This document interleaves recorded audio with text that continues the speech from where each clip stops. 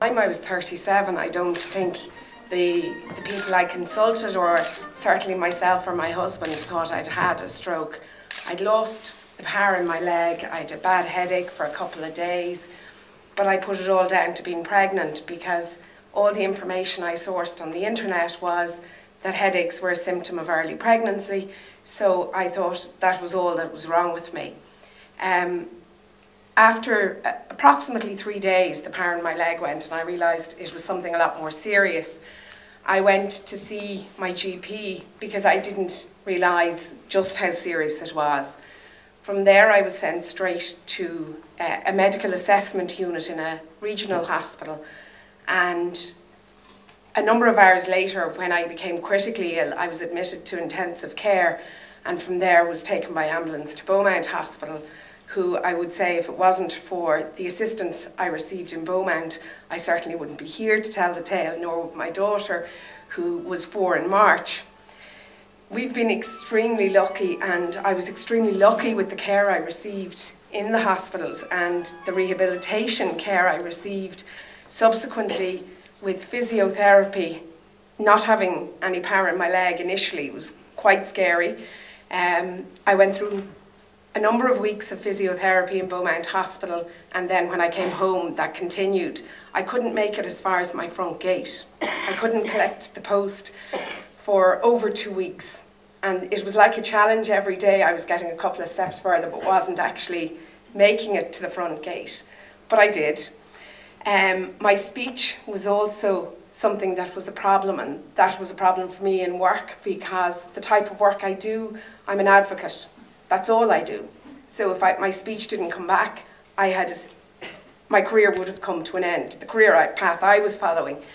Um, again, it was the care I received from speech therapists. You'll have to forgive me, I have a cold, so my voice is a, a little bit strained. The care I received from the speech therapists in helping me to speak again. Initially, I was saying things completely out of context.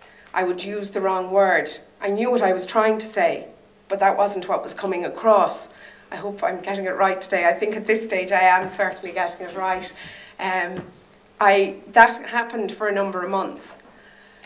I was out of work initially for um, July, August, and September. I went back to work for two days a week with medical permission to go back for two days a week uh, that October, whilst I was still pregnant, and then finished up work the following February obviously to, to take maternity leave. And I've worked since I returned when my, my daughter was seven months old. Um, I work a three day week now. I've never gone back to full time work, but that's more by choice than any other reason. But it was the, the care I received and certainly the, the quick attention I received and the diagnosis that would have assisted me to get to the stage where I am. And I will always be grateful for that because without it, I know I wouldn't be in the position I'm in today. My daughter, um, obviously, it was a very long pregnancy because the stroke happened when I was five weeks pregnant, which made things very difficult. I spent some time in hospital initially, and then I was seen every week for the remainder of the pregnancy to eight months, and then every day. And I was detained in hospital on a number of occasions because they weren't happy to let me home. Certain things just weren't right but we didn't know if the stroke had had any effect. But great, thankfully it didn't. My daughter was born and there was no difficulties with her, and she is a perfect four-year-old, bold and cheeky, like any four-year-old should be. Uh, and we've been very, very lucky. I haven't tempted fate. I decided not to tempt fate, and I haven't tried to have another baby since. We we said we were very lucky with how things went for us, so it wasn't an issue. Um, I'm grateful to be here and I'm grateful that I have my daughter. But I would certainly say the the perception was when I went to receive treatment, it couldn't be a stroke because I was 37. It didn't seem to be something that people were aware of. They thought I was ill. i initially, it was thought it was a very bad migraine, but stroke didn't seem to be a question at the very start. And I think it's important that people are made aware that it does happen, and it's not just to people in the older age category, which is what people traditionally think, but it happens to young people too. And they need an awful lot of help and support and aftercare to get through it. Because if not, if they don't make that rehabilitation, if they don't get well, they do need ongoing care. I'm in a position I don't need that, for which, as I said before, I'm very grateful. But if it wasn't for the assistance I got at the outset, I may not be in that position. And I think people need to be aware that it can happen to somebody quite young and that it can have effects that are going to be very long lasting if you live to the age that you're expected, your life expectancy. I would have had over 40 years that potentially I would not have been as well for. So I think it's very important that people are aware it happens to young people and to make sure that they get the care and the assistance they require at the outset. Thank you.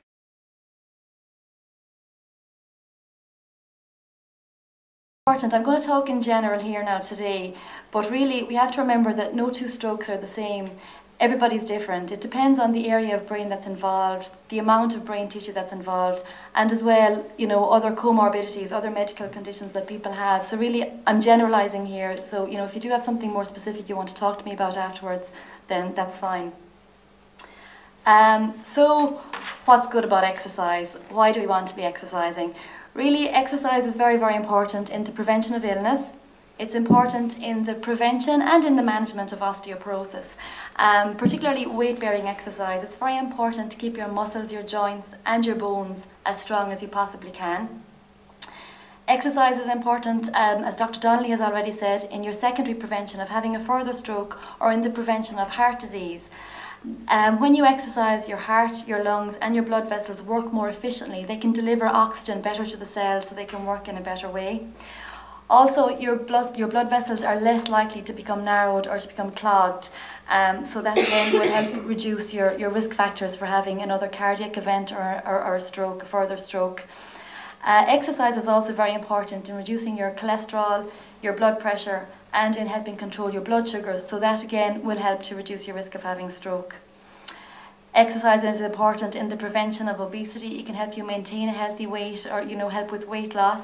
It helps your digestive system work better um, and you can get more benefit from your food. Um, you can use up your energy stores rather than actually storing them.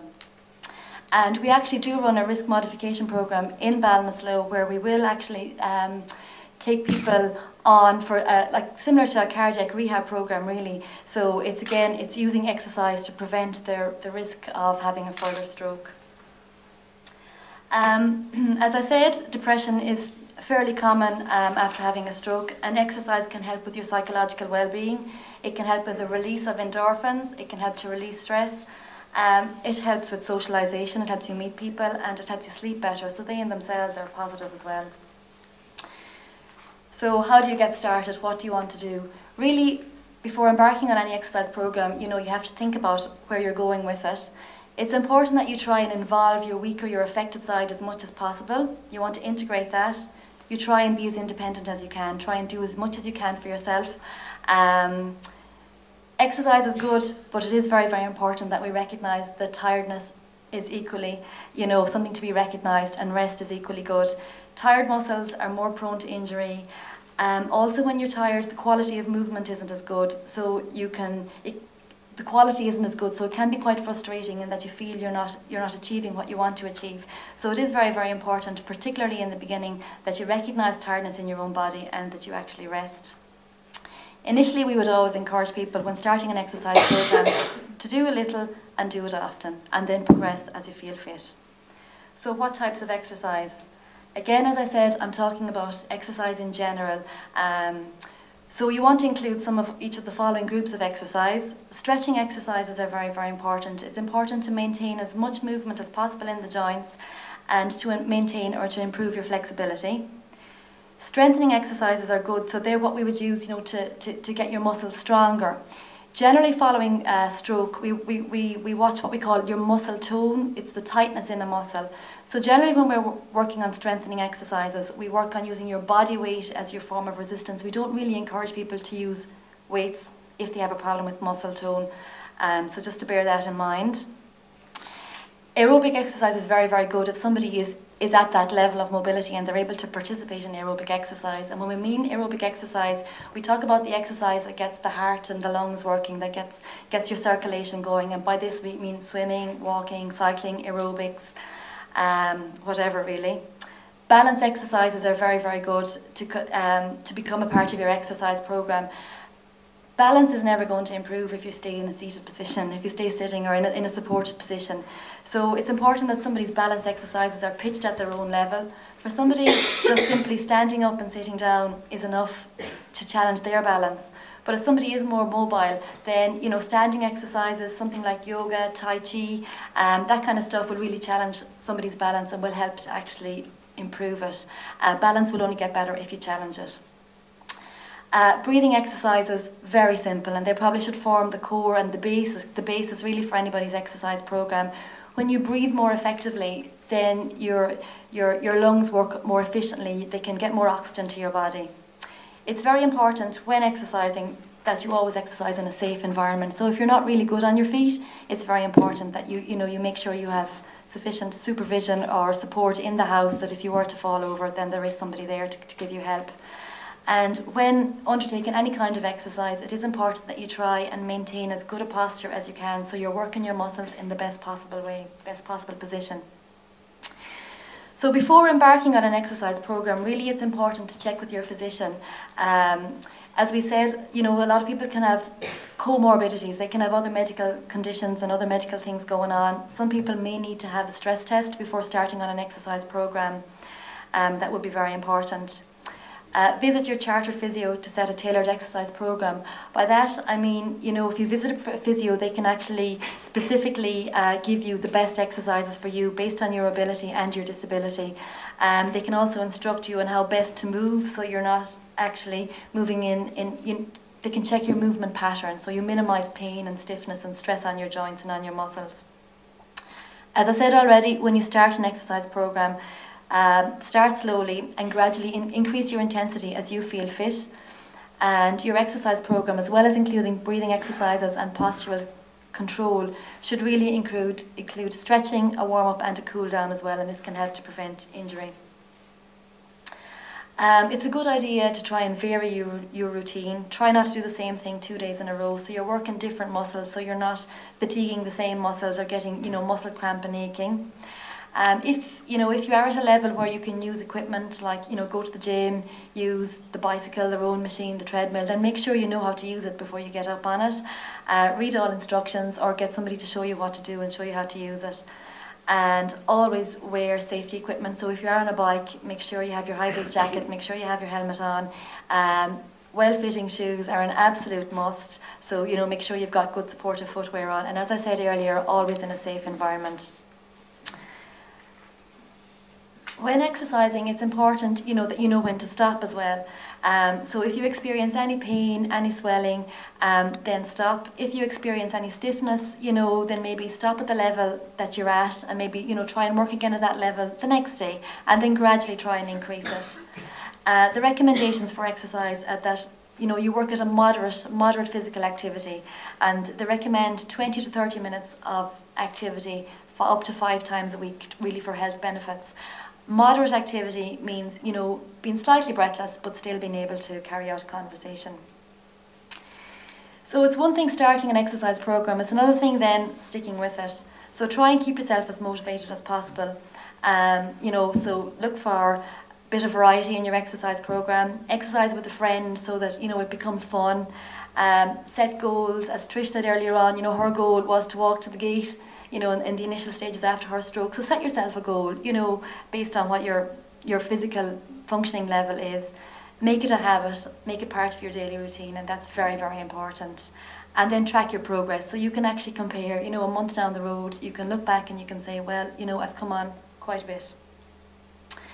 Um, this is just showing deep breathing exercises and really, you know, to breathe deeply, you shouldn't be moving your shoulders. And often we see that with people. You say, take a deep breath, and they go, and that really is futile.